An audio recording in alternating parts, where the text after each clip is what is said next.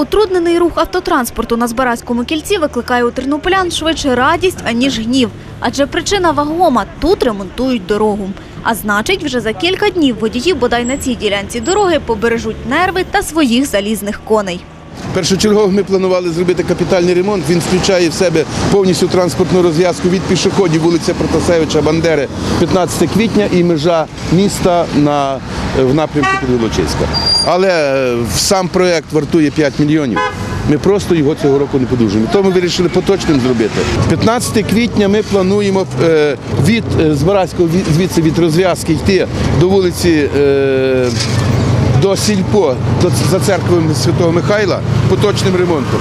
А там йде ділянка від е, повороту на вулицю Буйчуків до Київської капітальним ремонтом. Комунальники працюють тут з початку тижня. Перші два дні підготовчі роботи. З середини тижня почнуть асфальтувати. Рух автотранспорту через ремонт не перекриватимуть. Спочатку ремонтують внутрішній радіус дороги, потім відмежують дорожніми знаками зовнішній. Такої мозаїки з ям на дорогах комунальники й самі не чекали. Після цьогорічної зими не знали, за що братися в першу чергу. Та все ж визначили основні напрямки роботи. Це напрямок Живого оболоня за монастирського, напрямок е, Крушельницької за Рудкою, Зваразьке кільце 15 квітня. Також в плані першочерговому вулиця Текстильна, вулиця Купчинського ще, е, вулиця Стуса.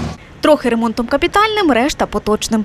На все менше 30 мільйонів гривень. Чиновники зізнаються одразу – мало. Бо ж тернопільські дороги зношені на відсотків 80. Вже по три, а то й по чотири терміни експлуатації відпрацювали. Та те, що є, використають до копійки. Вже бралися б за вулиці Живова і Оболоня та чекають, поки підсохне дорога. Поки капітально ремонтують вулицю Соломії Крушельницької та поворот з проспекту Степана Бандери на вулицю вояків дивізії Галичина.